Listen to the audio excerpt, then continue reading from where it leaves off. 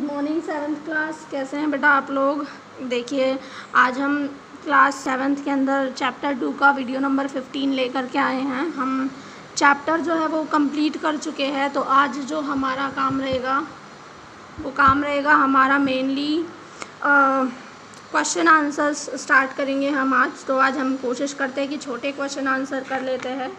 और बड़े question answers हम नेक्स्ट वीडियो के अंदर करेंगे। तो देखिए, सबसे पहले, और हिंदी मीडियम बेटा, आप लोगों को तो बिल्कुल भी दिक्कत होनी नहीं चाहिए, क्योंकि आपके तो आंसर्स भी आपके क्वेश्चंस के साथ हैं। तो आप लोग साथ के साथ इन्हें लर्न करते रहें, ताकि आप पे बहुत ज़्यादा बर्डन नहीं आए बात के लिए। क्लियर है? तो देखिए यहाँ पर फ़र्स्ट रिक्त स्थानों की पूर्ति क्या है? मानव पाचन के मुख्य चरण। देखिए, मैंने आपको सारे पाचन के चरण बताए थे। क्या चरण है वो सारे आपको लिखने हैं। मतलब सबसे पहला काम क्या था? मुँह में खाना रखना, यानी अंतग्रहण, उसके बाद शुरू होता है पाचन पाचन होता है, फिर अवशोषण होता है, फिर स्वांगीकरण। स्वांगीकरण यानी कि क्या होता है? बचे हुए को वापस पचाना और उसके बाद निष्काशन यानी उसके बाद जो वेस्ट है उसको बाहर निकालना। ये हमारे पाचन के मुख्य चरण, मुख्य प्रक्रियाएँ हैं, ठीक है? मानव शरीर की सबसे बहुत इंपॉर्टेंट है ये। मानव शरीर की सबसे बड़ी ग्रंथि कौन सी है बेटा? यकृत है, ठीक है? अब देखिए नेक्स्ट आमाशय में हाइड्रोक्लोरिक अम्ल व डैश का श्राव होता है। आमाशय में एक तो HCL बनता है और एक और क्या होता है? पाचक रस, दोनों का श्रावण होता है, ठीक है? शुद्रांत यानी छोटी आंत की आंतरिक भित्ति पर उंगली के समान प्रवर्ध होते हैं। उन्हें हम क्या कहते हैं? दीर्घ रोम कहते हैं। क्या कहते हैं बेटा? उन्हें हम दीर्घ रोम। ठीक है?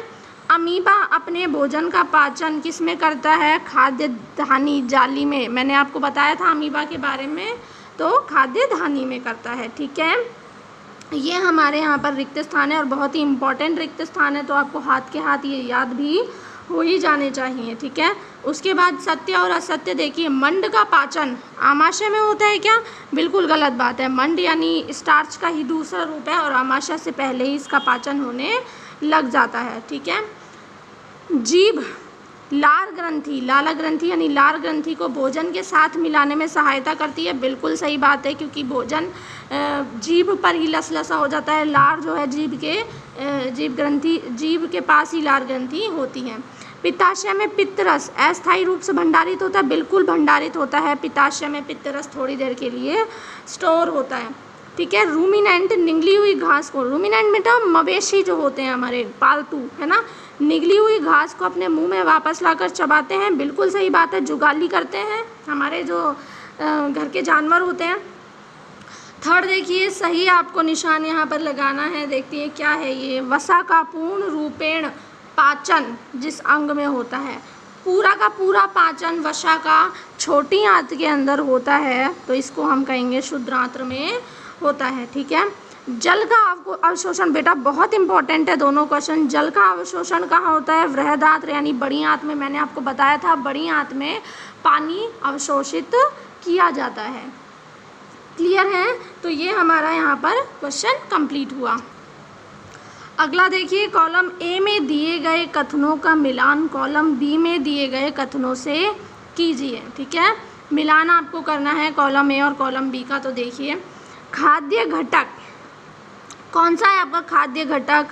ठीक है, उसके बाद में कार्बोहाइड्रेट क्या है? ठीक है, उसके बाद में आपका प्रोटीन के साथ किसको मिलाएँगे और वसा के साथ आप किसको मिलाएँगे? तो सबसे पहले बेटे, वसा का देख लीजिए। वसा के साथ आप इसे मिलाएँगे। वसा, अम्ल और ग्लिसरॉल क्योंकि वसा का ही दूसरा रूप होता है ये।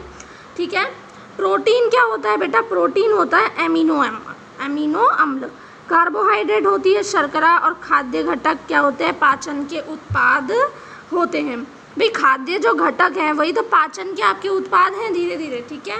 तो इस तरीके से आपका ये question match the columns complete question number देखिए फाइव ठीक है? देखिए क्या कह रहा है? दीर्घ रोम क्या है? कहाँ पाए जाते हैं? क्या काम होते हैं?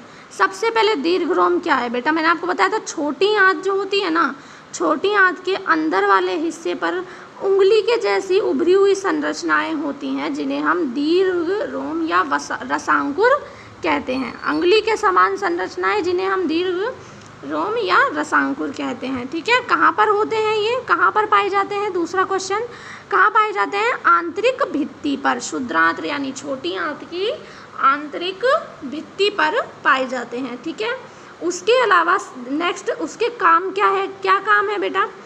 कार्य क्या है? हेडिंग डाल के लिखेंगे हम भी कि दीर्घरोम जो होता है, पचे हुए भोजन के अवशोषण हेतु तल क्षेत्र मतलब फैल जाता है।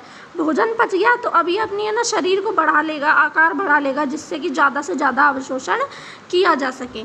और उसके अलावा रक्त वाहिकाओं में उपस्थित जो रक्त होता है, उस उस, उनको क्या कहता है कि पानी का अवशोषण करके विभिन्न भागों तक रक्त की सहायता से पहुँचाने में मदद करता है। तो ये हमारे दीर्घ रोम का बहुत ही इम्पोर्टेंट काम होता है। ये क्वेश्चन भी इम्पोर्टेंट है, ठीक है? नेक्स्ट हम क्वेश्चन देखते हैं बेटा कि पित्त कहाँ निर्मित होता है? भोजन के किस घटक के पाचन में सहायता करता है? देखिए पित्त रस पित्त रस कहाँ बनता है बेटा? यकृत में बनता है, ठीक है? यकृत में बन करके पिताशय नाम की एक जगह है, जहाँ पर जाकर स्टोर हो जाता है। बनता कहाँ है? यकृत में, ठीक है? और उसके बाद कहाँ जाकर ये स्टोर हो जाता है? पिताशय नामक एक ग्रंथि के अंदर जो है, संग्रहित जाकर हो जाता है। ये तो था, ये बनता कहाँ है, ठीक है? इसके बाद भोजन के किस घटक के पाचन में सहायता करता है?